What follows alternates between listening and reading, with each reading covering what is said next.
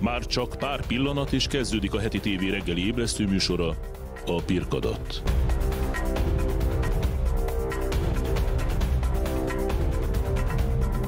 Élőben a stúdióból jelentkezik Brajer Péter.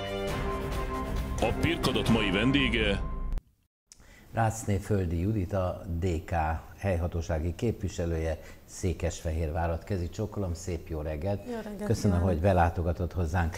A köztársasági elnök asszony még államtitkár volt, illetve e, tárca nélküli miniszter, amikor arról kérdeztem, hogy mi lesz a lombik bébikkel, ő foglalkozott, ma már köztársasági elnök, de akkor ő azt mondta, hogy mindent meg fognak tenni, hogy sokkal könnyebb legyen az embereknek, akik csak ezen a módon tudnak utódokhoz jutni. Hol is tartunk most ezzel? Hogy van megelégedve az új szolgáltatásokkal? Eh, Vannak, akik azt mondják, hogy ez egy államosítás volt, minden esetre eh, ingyen és bérmentve szolgáltatást kaphatnak arra a rászorulók. Hát sajnos nem vitte végig akkor a projektet, nem tudom, hogy mi volt a célja, de hogy nem, nem lett sokkal működőképesebb, az egészen biztos. Megnőttek a várólisták, és nagyon sok orvos elhagyta az országot, és bizony az államosítás, és elvette a szülőktől azt a lehetőséget, hogy a meddő szülőktől, hogy családdá válhassanak. Tehát hirdetik a családtámogatást, aminek vannak egyébként jó elemei, de ahhoz, hogy családdá tudjanak válni, Arra viszont nagyon keveset fordít ez a kormány, és ezzel a lépéssel, hogy államosították ezeket az intézeteket, bizony nagyon sok ö, meddőpár külföldre megy. 1000 és 1500 euró között van egy ilyen IVF eljárás külföldön, és bizony a nők korából adódóan azért sürgeti őket az idő adott esetben, és itt, hogyha felhívunk egy ilyen reprodukciós intézetet, van, hogy egy évet kell várni az első konzultációig és nagyon sok olyan orvos elhagyta ezt a szakmát bizony, akik biológusok, nőgyógyászok, akik, akik évtizedeket öltek kutatásba, és most mondjuk Svájcba vagy. Mert hogy ott jobban megfizetik őket, vagy másfajta eszközökkel dolgozhatnak. De mielőtt erről beszélnénk, hagyd kérdezzem meg, hogy van eh, Lehel a kisfia. Lehet nagyon jó, most kezdjük a héten az Ovit. Ugye nem titkolt a nő is Lombik baba, és egy magánintézmény segítségével született Lehel. Azt a magánintézményt sajnos már, már ugye bezárták. Tehát nekem innen is szívügyem, és nagyon sok orvossal és szülővel tartom a kapcsolatot, tehát pontosan látom a, azokban a közösségi médiás csoportokban, hogy a szülők mennyit, mennyit küzdenek azért, hogy a gyermekük lehessen. És erre a másfél éves várólista bizony nem megoldás. Eh, Mivel indokolja a kormány, eh, most nincs itt jelen, akit megkérdezek, tehát kénytelen vagyok önt kérdezni, hogy erre a lépésre jutottunk. Azzal indokolta a Gulyás miniszter úr, hogy egy kormányinfon feltették neki ezt a kérdést, hogy akkor lássunk tisztán, hogy miről is szól. Ő azt mondta, hogy így átláthatóbb lesz, a rendszer, mert nagyon sok visszaélés volt. Na most, hogy ezt mire alapozza, azt nem tudjuk Hogy meg. lehet visszaélni, mivel lehet visszaélni? Fogalmunk nincs, tehát erre, erre nem, nem kaptunk magyarázatot. Utána volt egy kisebb fajta tüntetés, a szülők szerveztek tüntetést, hogy ezt megakadályozzák még júniusban. Nyilván nem értek el vele semmilyen célt, ahogy ez a törvény aláírásra került. Ugye most már ezekben a hónapokban, vagyis másfél hónapja nincsen már lehetőség. A minap láttunk egy hatalmas konvojt, ami nagy technikai készültséggel lefagyasztott dolgokat vitt át az egyik ilyen helyről egy másik kórházban. Tehát tulajdonképpen azokat, akiket korábban kezeltek, a kezeléseket a jogutódok folytatják?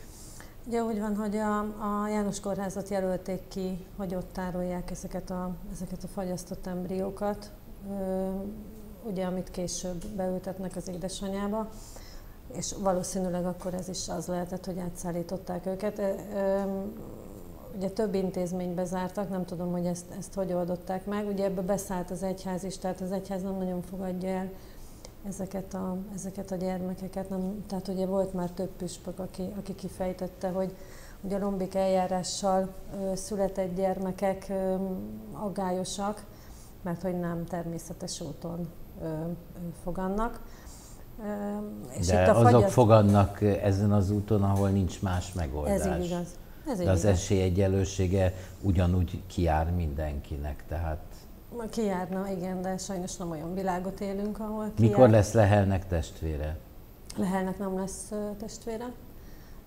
négy lombik eljárást csináltam végig, és azt gondolom, hogy egyrészt lelkileg is és testileg is megviseli ezt a, a nőt, úgyhogy én örülök, hogy ő lett, és én boldog vagyok, hogy van ez az eljárás, hogy és én még részt tudtam venni ebben a programban, úgyhogy, és már a korom sem engedni ezt. A koráról arról nem beszélünk, mert nagyon csinos és nagyon fiatalosnak tűnik, de akkor magyarázza meg nekem, hogy mi lesz azokkal a fiatal párokkal, akik valamilyen ok miatt nincs nekik más megoldás.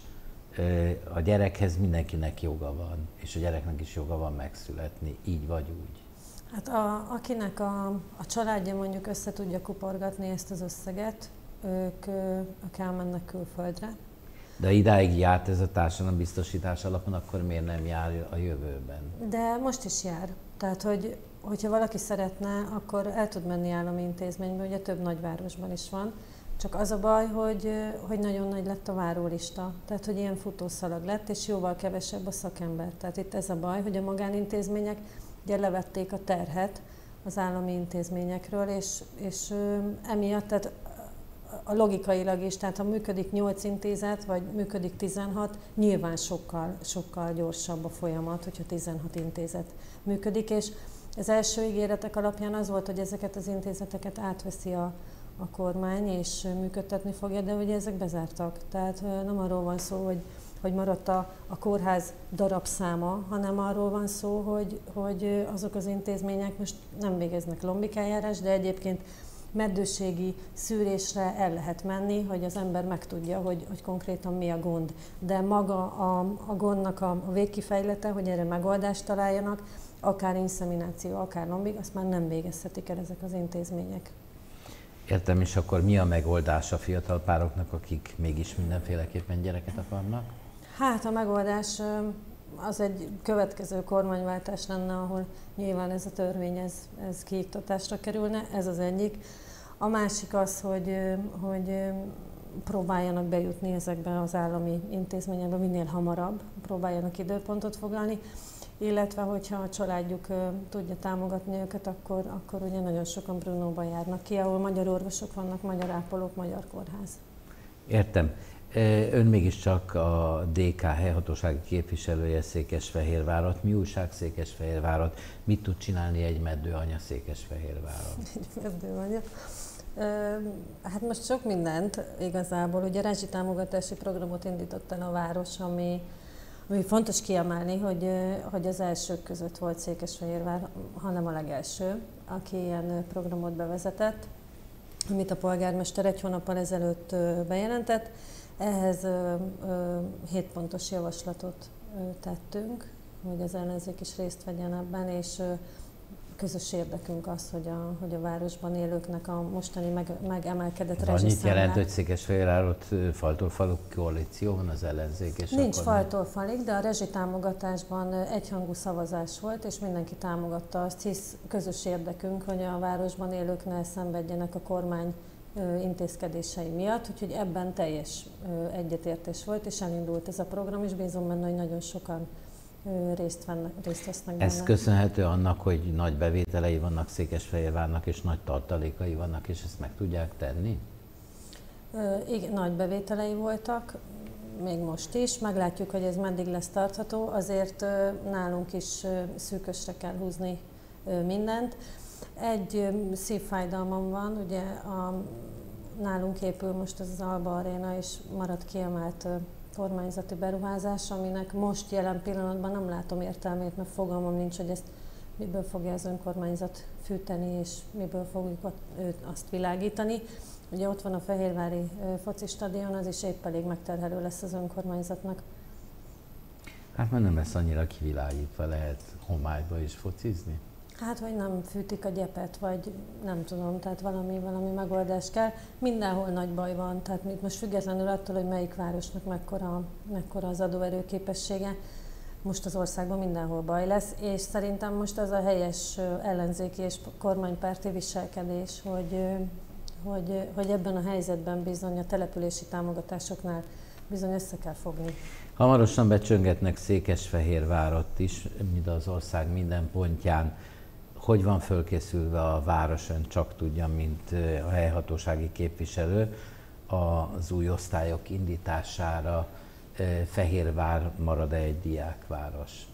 Bízunk benne, hogy igen. Tehát a héten elindult, tehát szerdán tanévnyitó, és nagyon sok civil szervezet gyűjtött különböző tanszercsomagokat, tehát segítettek a, a, az iskoláknak, ugye, ami már nem városi fenntartású, amióta azt is államosították, tehát igazából a kliknek segítünk azzal, mert mi is gyűjtöttünk, hogy a hátrányosabb helyzetű családokat ö, ö, támogassuk.